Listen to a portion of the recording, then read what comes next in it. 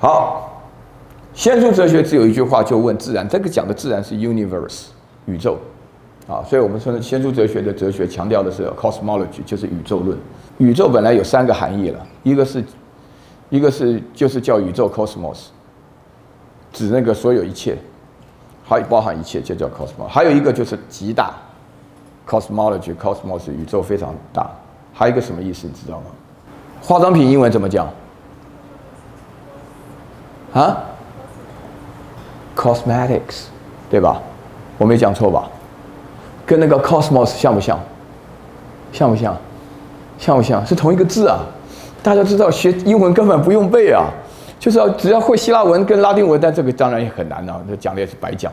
这考 GRE 都要先学希腊文、拉丁文，这基本上都是他们的字根啊。cosmetic 这句话，那就是宇宙不但是宇宙，而且也是极大还是极美的。它是完整的，完整什么呢？为什么什么东西就为什么会完整呢？因为 cosmetics，很多人很多人学英文没有方法，学英文最主要观点，第一个要懂它的字根，第二个的话呢要用耳朵来听，其他根本不用学啊。还有一个之后就是敢不要脸，就乱讲乱讲，讲错让别人来纠正你，那变成最好的补习班老师，对不对？比高国华还强啊！高国华不一定会纠正你，那英文你不被纠正，你怎么会进步呢？啊，好，这不是我要讲的，我要讲的是这个自然。最重要的是它极美，为什么极美呢？因为什么东西美呢？有秩序叫美。啊，像我们这个同学瞪着我看，你看他，啊，我唯一瞄过他啊，他的五官，啊，算了，呃，不止你就举例子，每个人都一样，非常正，该长眼睛的地方长眼睛，鼻子长得高高的，嘴巴小小的，戴个眼镜看起来很文静。穿的衣服啊，有肩膀，但是露出一点书肩啊，不能乱讲啊。形容这个什么呢？完全符合美的秩序，秩序，一种有秩序。你你你你你要知道，你下次做你你你你 PS 图片，你把一个人的五官位置稍微移动一下，你会发觉非常奇怪，很不美，非常奇怪。就是说自然最美，所以我们讲自然就这样。所以说啊，我们用先出哲学。大致上就这几个学派，不过我们今天只介绍最早的弥利都学派，给大家做一点介绍。啊，弥利学派我们要讲一个重要的观念，就有三个人呢，一个是泰利斯 （Thales），啊，一个是这个安克西曼德，一个是阿克西曼尼，就是他们三个人是弥利都学派的师徒三人。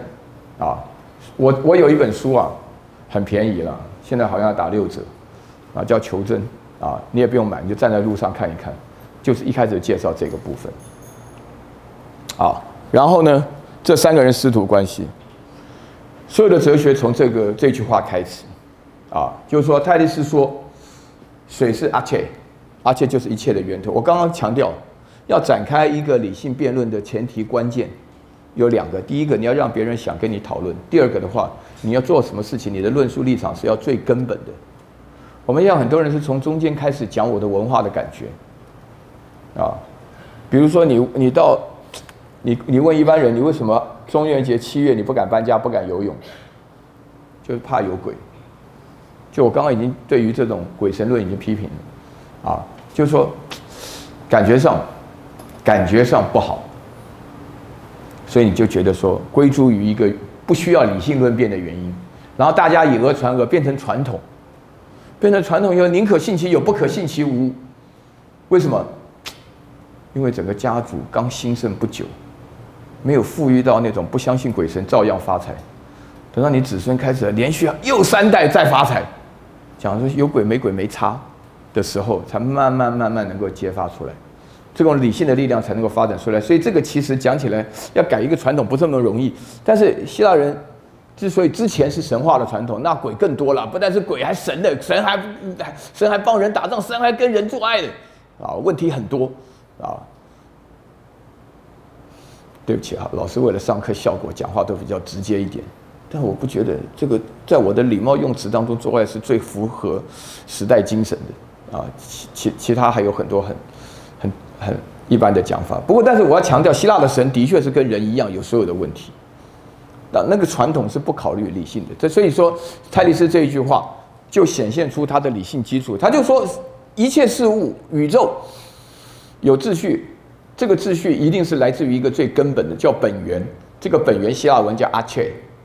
阿切这个字的话呢，其实讲起来，像你们知不知道 democracy，d m o c r a c y，那个 a c y，啊 a c y 阿切就这个字，democracy，任何事情 anarchy，n a a r c h y，anarchy 就是阿切，所有的制度就这个字，后来在英文就这个字，啊，就是阿切这个字，啊。所以也就是告诉大家，这个确实是像是一个秩序，这个秩序当中，然后地球呢就是浮在这个水上，因为你看到海嘛，很自然的一个认知嘛，啊，所以说产生了他们的宇宙论。这个部分我不要谈，我只要告诉大家，批判理性在这里也找得到。那为什么？啊，大家就会开始问啊，为什么这一切都是水？我们现在正在踩的这个石头是水吗？好，我们现在走下来的两个同学是水吗？啊，我们现在坐的位置是水吗？那沙漠中，在希腊地区，I want Miletus 在哪里？知道吗？Miletus 在现在的土耳其。我跟同学讲过，我每一年夏天，我都会去希腊。啊，连续去了好几年了。啊，我们现在哲学里讲的希腊。被现在土耳其占领了，啊，我们现在讲希腊被土耳其占领，所以 Miletus、Ionia philosophy 这些其实都是在土耳其，啊，希腊的神庙都在土耳其，啊，不能说居多，还好在是雅典在希腊了，啊，所以佩罗奔尼撒战争的主角，啊，这个这个这个呃呃什么多律联盟，啊，是在现在的土耳其，那么这一些。主要的问题是为什么水有这种魔力，变成世界的根源？这种问题，把它当哲学的起源。那这句话是一个大胆的猜测。这个大胆的猜测呢，同学们要了解，重点就不是答案，而是问问题的方式。我强调，你当你要跟别人展开一个辩论，如果你不从在理解的范围当中的最根本的部分来讨论问题的话，如果你不从这种最根本的方式来讨论问题，别人会觉得你拿约定俗成的标准，或是拿既定的印象来辩论，他就很难接受，因为要更改别人的想法已经很难了。已经很难了。你现在跟很多人讲说，其实台湾的夜市很脏，哇，很多人很生气。前阵子有这个报道，你知道吗？因为每一年到了学习到这个时候，出现这种消息特别多，很多交换学生来了嘛，很多台湾学生，哇，台湾这哇，night market，night market，you got to see it，啊，一看完老外一看，哇塞，一边手收钱，另外一个手在洗碗，妈吓坏了。有没有觉醒青年要反对的？说钱跟洗碗合起来就是好吃，你敢你敢讲这种话吗？你没有现代的一点卫生观念吗？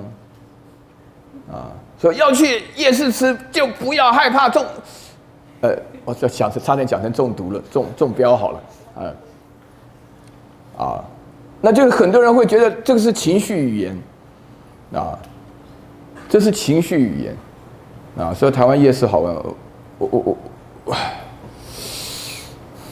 呃，不知道好玩在哪里。啊，不，因为我自己有糖尿病，所以我不没有办法去欣赏那些夜市的东西，尤其是油炸的，我都没兴趣，已经几十年了没兴趣。所以我想起来，但是我有时候在想，这种情绪语言让人没有办法辩论，没办法讨论，没办法讨论就没办法改进改善，没办法改善的话呢，就维持现状，维持现状的结果就菲律宾化，呃，对，对不起，就是维持现状就是就是现状化，啊，就出现这种结果啊，所以说，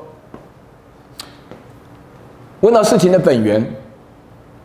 这个问发问的方式是最重要的啊。那么其次的话呢，问到事情的本源有什么好处呢？大家要知道，所有人都应该上了这一分钟的课要有一种感觉。你们台大学生，你们这是台大学生，你们数学一定都不错。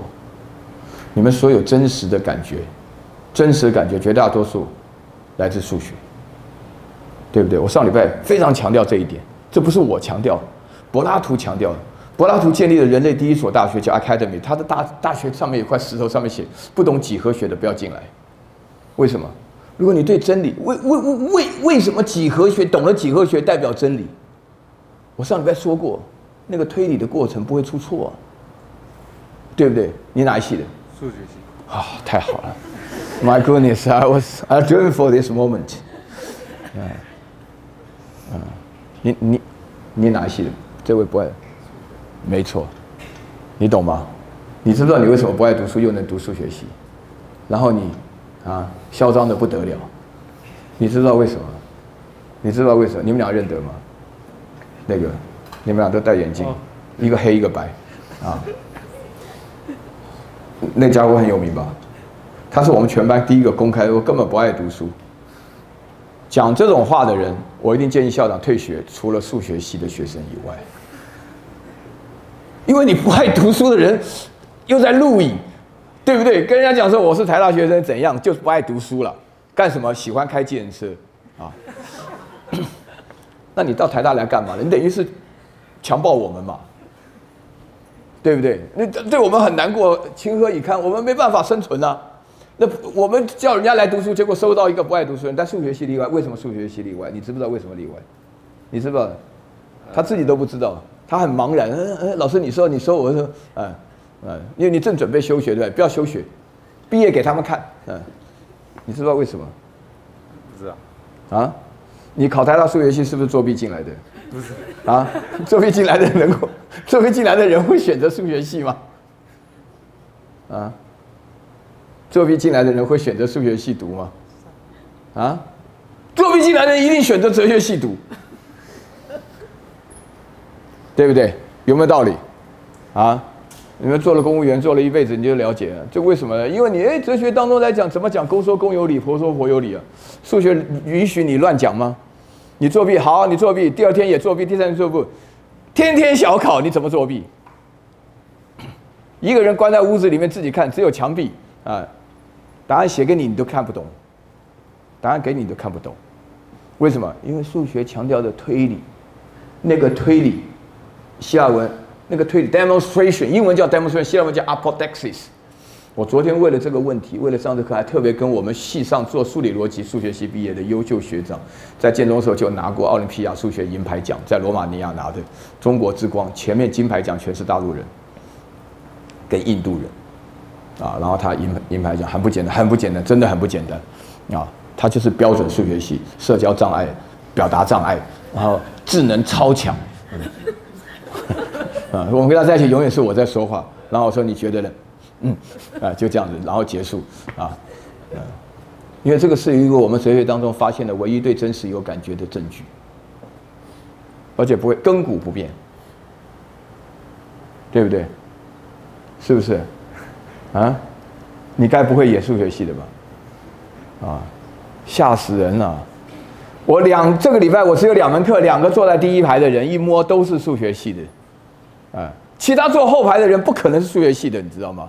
就来上课不上可惜，来了以后怕被老师点到。数学系的他没有，他一直是活在真理当中。他讲的你要点我，我就知道就知道，知之为知之，不知为不知。啊，老师点到我说这个不知道啊，那个人知道。然后呢，要不然的话，老师要不要我到黑板算给你看啊？这个他妈老师一下就垮了，对不对？老师都快六十岁了，怎么跟你二十岁人拼啊？对不对？更何况一听到到黑板算一下的话，吓都吓死了。一般人都吓死了，不是我吓死了。这个就是求真的概念。为什么？为什么数学有让你有求真的感觉？你不爱读书，但是你可以读台大数学系，而且你从南部上来，超屌的，这不得了啊！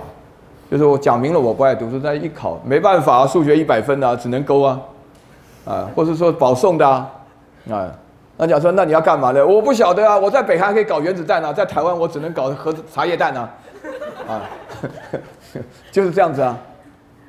对不对？啊，这是这我讲的道理，大家都懂。可是我要强调重点，重点是什么？重点在这里啊！重点是说数学完全来自于一个公理系统的结构啊，公理系统就对不对？你们当然知道几何学对难不倒你的原因就是啊，废话怎么难得倒我？因为你公理给我以后，我经过推理可以得到定理啊。数学里面最强烈的感觉就是推理不会错，那就不会错就是真的。所以这也是为什么我们讲问题一定要讲本源呢、本源就是设立一个公理系统的模仿，对不对？现在听懂了吧？其实我们人生当中这真理的最佳的典范就是公理啊，就是要设定公理啊。比如说公理讲说，为了台湾独立可以死，作为公理的话，那大家都得死。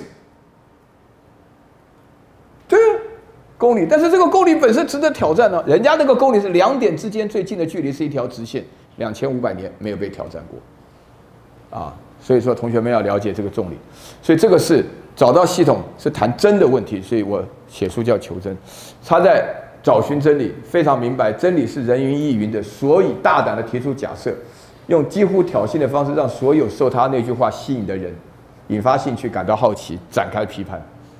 所以同学们要了解，你要让别人跟你愿意论辩一个事情，跟政治相关的事情，一定要注意这两件事。第一个，你的立场要很够基本根本，最好是本源。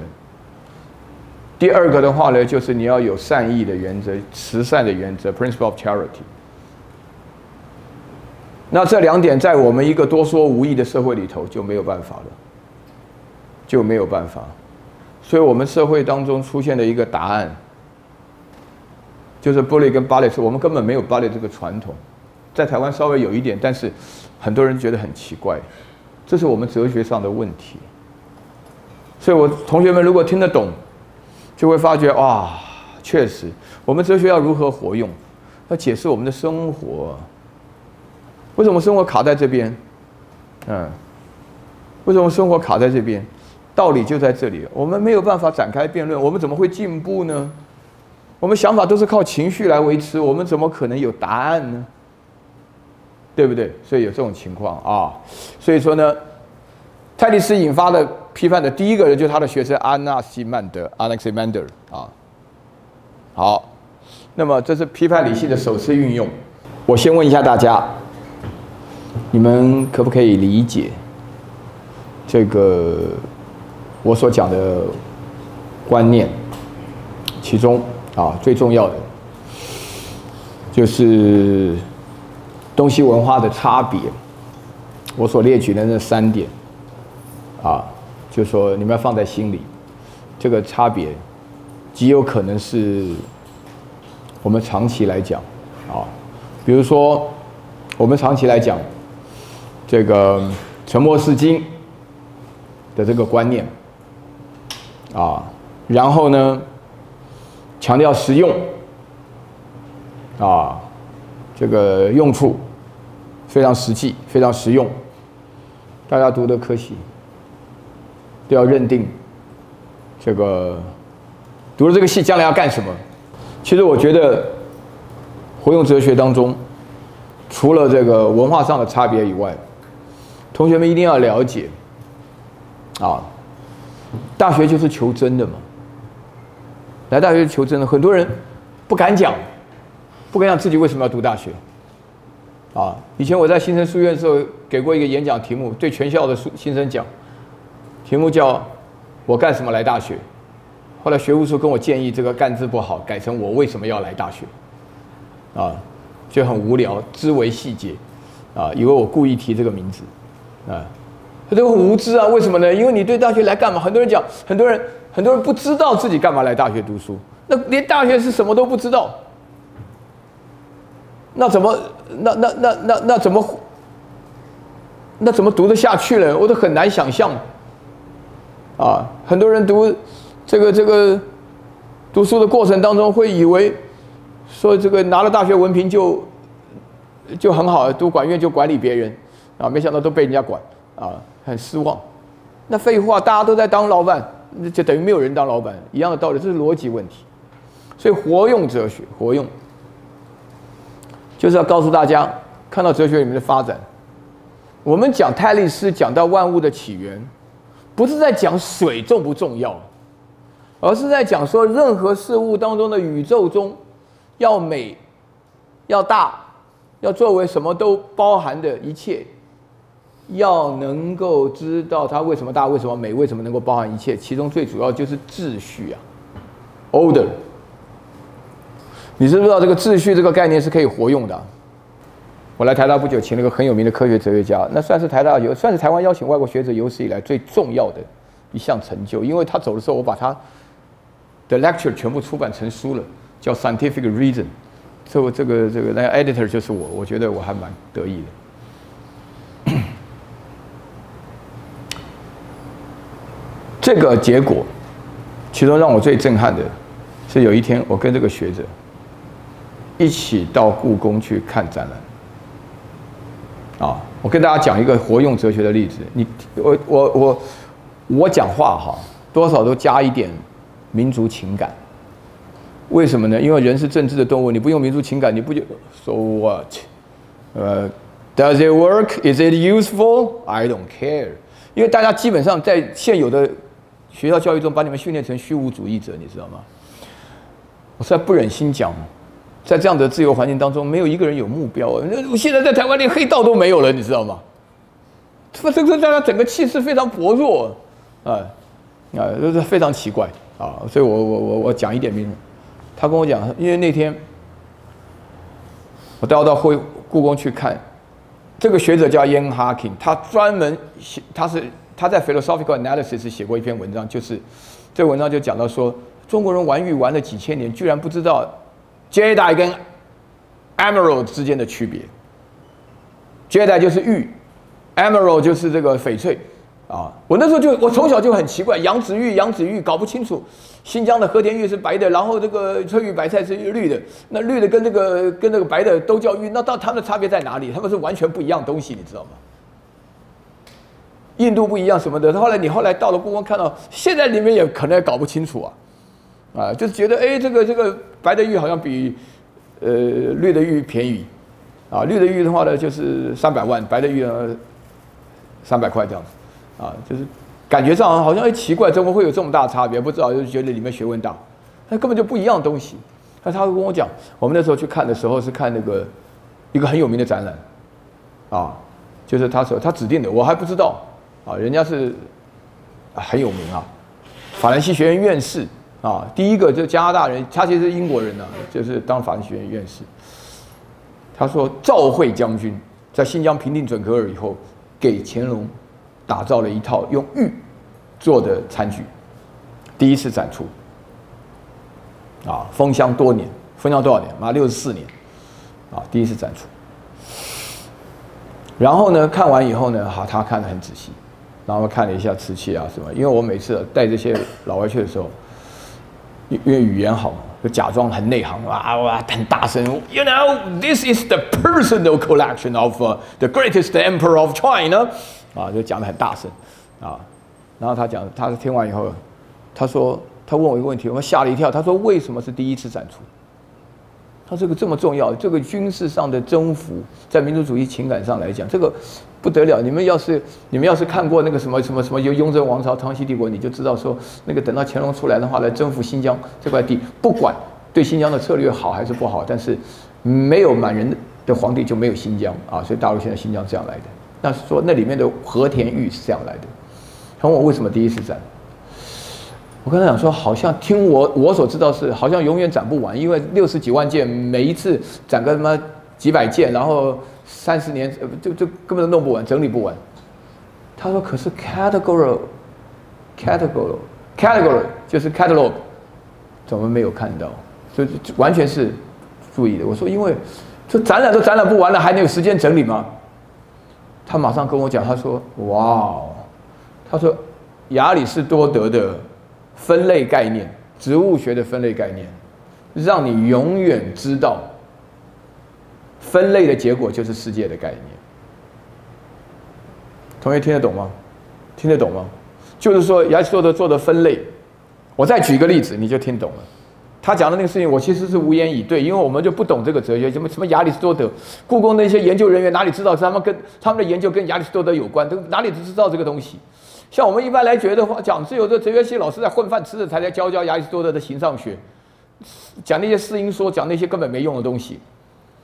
但是我想起一件事情，我以前在比利时留学的时候，我看过比利时皇宫那个夏夏宫，将来大家到那个夏宫地名叫 t e v i l e n 就是刚好在鲁文跟布鲁塞尔的正中间 t e v i l e n 将来去看那里面有个夏宫，那个夏宫呢叫做中非博物馆，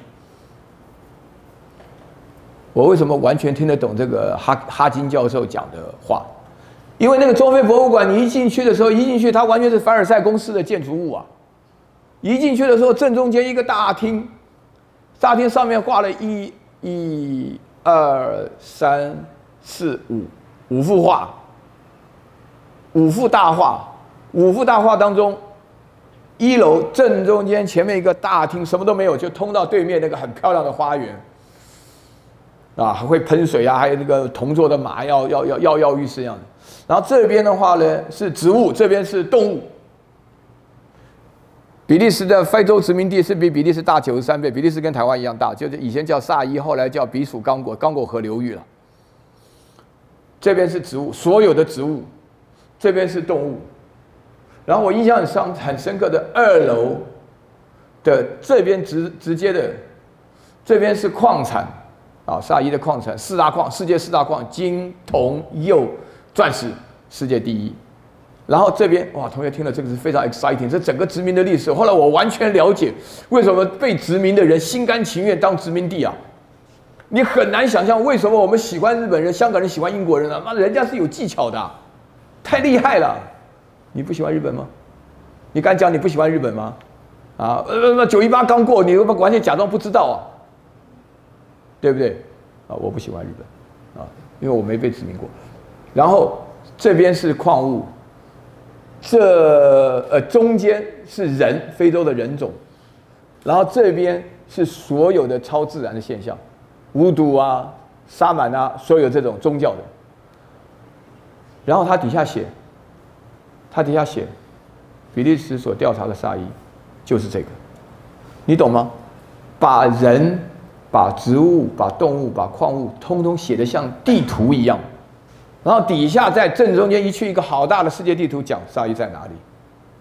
这就是宇宙，这就是世界，这就是分类啊。同学，你们了解吗？西洋人从一开始，从希腊时代的哲学，为什么 “colony”“colony” 这个字是希腊文呢？我们现在讲的哲学，现在讲的这些人，都是被希腊文明所殖民出来的结果。大家知道 colonization 超厉害的，以前中国也 colonize 韩国，colonize 越南，他们对于整个儒家的文化信奉的不得了。你派出去大臣一定是最能干的，写出来文章一定最好的，厉害啊！你现在看到英国人，你要是我不晓得你们英文好到什么程度，我自己一度称自己为 Anglophile，哇！我一天要讲，我我每一天早上起来，This is BBC World Service headline news 啊。The Burma government has very much in the development，就觉得哇，太优美了。到了香港的话呢，觉得他们完全都迷惑，overwhelming，enchanted。殖民地为什么？他们把整个世界通过他们的分类系统做了定义，重新定义。这个世界中没有在这个地图中出现的都不存在。像 Google Map 当讲百慕达三角洲神秘的 mythical triangle 不存在，Google 地图看不到的东西通通不存在。这就是哲学最伟大的力量，让你看到世界。会画地图，以前你们大家有没有看过中国古代画的地图？山就画个山，阳明山，后面再画一个山，金山，然后再画一个海，啊，没有那个经纬度啊什么的，啊，地球上的经纬度存在还是不存在？这种问题是我们在形上学社要讨论的，太伟大了。所以你要了解，这个不是你移不移民、当不当美国人、当不当加拿大人可以学会的，这个是哲学呀。他们在两千五百年前就有这理念，为什么？殖民人家的准备。所以我刚刚前面强调那位加拿大教授讲到召会的时候，他说：“你们没有这个 categorization，你们没有这个 category 的这种哲学概念，所以你在整理东西的时候，你完全不会分类。”你看大英博物馆跟那个什么什么那个罗罗浮宫底下的做埃及学的或中国哲学的，他们七早八早就把你所有的 catalog 全部印出来了，展不展是另外一回事。活用哲学，活用哲学，啊，所以大家啊，这个这个观念就在这里。怎么分类呢？分类一定找最最根本的地方进行分类，啊，最根本的，比如说。两点之间最近的距离是一条直线，整个地世界地图摊开来，用几何把它画出来，所以地方放大，跟真的世界一不一样？不一样。西伯利亚没有那么大，但是地图摊开来以后就变这么大。比如说地球仪上西伯利亚看起来没有很大，但是摊开就这么大。为什么要变这么大？因为它的整个 cat 它的 categories 已经主宰了整个世界，就是它的哲学的理念已经取代了世界。同学们听得懂吗？听不懂是吧？我再强调一遍，你要知道，人最害怕什么？人最害怕无知的情况，unknown reality。中元节到底有没有鬼跑出来？你数学系的应该不用回答吧？中元节有没有鬼跑出来？啊？你觉得中元节有没有鬼跑出来？我如果在台大的这哲学概论课讲说，大家到了阴历七月小心一点，我讲这句话我不用工作了，你知道吗？同学检举你啊，呃，妖言惑众啊，你跟妙禅有什么不一样？你在台大不可以讲这个话，为什么？因为我们台大教育是科学教育啊。那科学哪来的？科学基本上是用 representation。什么叫 representation？就是用一种表征的世界来取代真实的世界啊。真实的世界我们不知道。比如说，你们是数学系的，你们很牛逼，没错。但我问你，为什么数学能够有这种推理不会出错的现象？你不能回答这个问题啊！你怎么能回答这个问题呢？说为什么数学不会出错？你不能回答问题，说就是不会出错，对不对？你可以回答说为什么数学不会出错问题吗？你不可能回答这个问题啊！这已经超越了你所有的祖宗的总和了，对不对？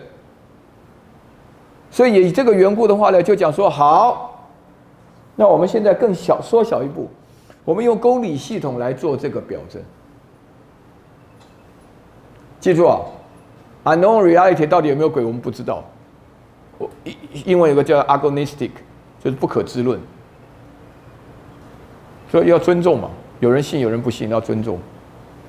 啊，就像你尊重人家不同的私人的秘密一样，要尊重。可是，你不知道的情况下。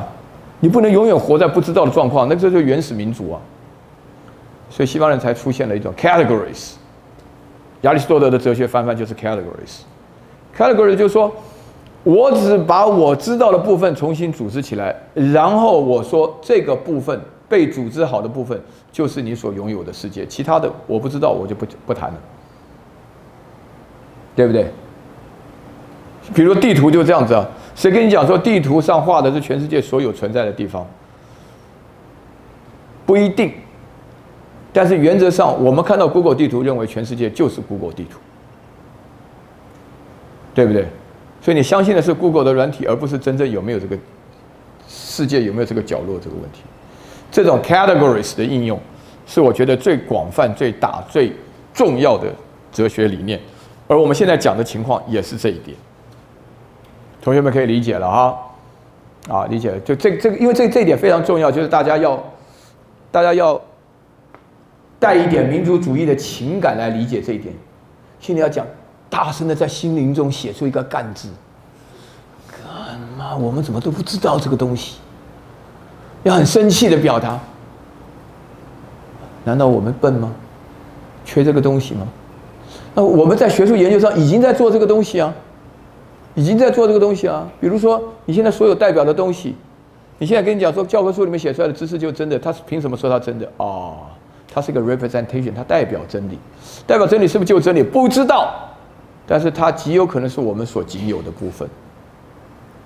亚里士多德把这个分类出来，所以 categories 的概念非常重要，啊，是活用的道理，也是最根本的，因为我们没有这个东西，没有这个传统。啊，没有办法，这个叫经验主义啊，啊，所以因为这个缘故，等一下我们可以再进一步讨论。将来，这是我们最重要的一个活用哲学的一个基本概念。没有这个，没有这个理解。比如说，我问大家，公司要做一件事情的流程图，这边有管院的学生，如果有管院的学生的话，公司要做一件事情的流程图，你把流程图画出来，说这个是公司达到效率赚钱的方法。这是一个 representation，representation 是一个表征，对不对？那很多人就要说，把人按照这个表征压缩到完全按照公式来，这个叫效率，这叫管理。如果达不到这个效率，就没有办法达到管理的指标。重点是你要先有这个表征，要有这个 representation。这个 representation 就用了很多哲学的概念，啊，你如果说做到让大家不要睡觉，后来人都是死了挂了，这个不可能是好管理。让大家都觉得很轻松，都不用做事了，啊，这工作意愿很低了，这个也不会是好的管理。所以你的这个表征要能够符合经验的准则，所以这个就是经验主义。所以亚里士多德的贡献就在这里。啊，所以说给大家个，你现在可以稍微了解一点吧，要慢慢体会，慢慢体会活用哲学的价值。啊，活用哲学价值不是一触可及的，是要慢慢慢慢充充满了啊哈 experience，充满了啊哈 experience，啊，就一步一步来，啊，因为你现有现现行所学的教育，大多数是废物。大多数是废物，是把一个科技大学的资料放在一个学术大学里头来学，这不是废物是什么？啊，这个更没有用。